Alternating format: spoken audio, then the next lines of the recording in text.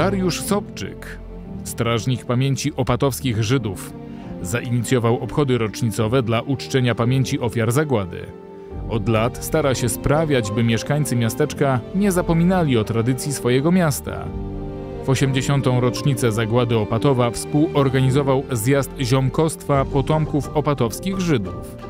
Był pomysłodawcą i inicjatorem pierwszej w Opatowie wystawy obrazów Majera Kirschenblata. Moja przygoda i zainteresowanie historią żydowską Opatowa zaczęło się od spotkania z, w 1995 roku z Majerem Kirschenblattem, który malował obrazy dotyczące Opatowa i mm, spisywał historię o wszystkim, co działo się w naszym mieście przed wojną.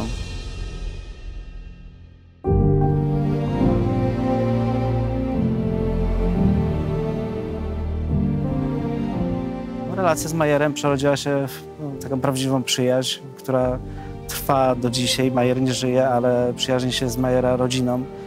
Podczas jednej wizyty Majera w Opatowie dowiedziałem się, że maluje obrazy bardzo piękne, bo widziałem e, widok, takie zdjęcia, widokówki tych obrazów.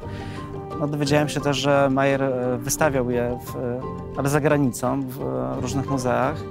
I tak przyszedł mi do głowy od razu pomysł, że, że właśnie ta wystawa naj, naj, najlepiej jakby była w Opatowie, żeby tutaj się ludzie też dowiedzieli przez to no, historii Opatowa, która jest, była, no i jest dalej też nieznana. Do Opatowa przyjeżdża wiele osób, którzy są potomkami y, tych mieszkańców, którzy y, no, raczej przeżyli tak, wojnę tej, tej grupy, która, której udało się przeżyć. Też oni sami szukają kontaktów tutaj z ludźmi mieszkającymi w Opatowie, bo no, czują się osamotnieni, towarzyszą im różne emocje. Czasem przyjeżdżają bojąc się w ogóle tutaj przyjechać, y, bo myślą, że jest bardzo duży antysemityzm, że ktoś ich skrzywdzi. Staram się pomóc y, tutaj tym osobom się poruszać, żeby, żeby czuli się dobrze,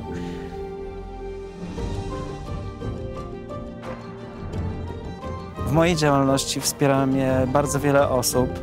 Szczególnie z, wspierają mnie osoby z Towarzystwa Przyjaciół Ziemi Opatowskiej. Szczególnie ważną osobą jest dla mnie pani Marysia Bożęcka.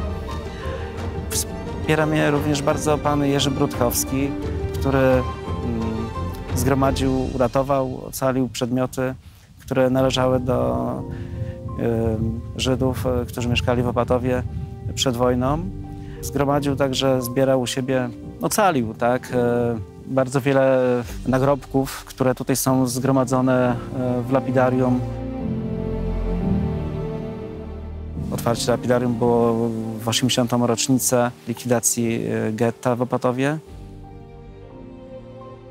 Bardzo bym chciał, żeby młodzież z Izraela przyjeżdżała do Opatowa, poznawała młodzież z Opatowa, żeby zaprzyjaźniali się, bo przez to właśnie też mogą e, później e, mieszkańcy, młodzi mieszkańcy Opatowa też zaciekawić się tą e, historią społeczności żydowskiej, która mieszkała tutaj przez ponad 500 lat.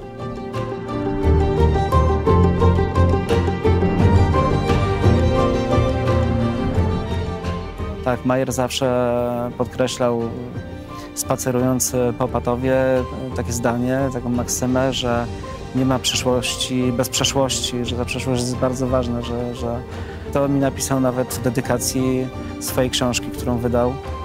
No, też taki, takie motto po prostu, którego, no, które jest dla mnie bardzo ważne.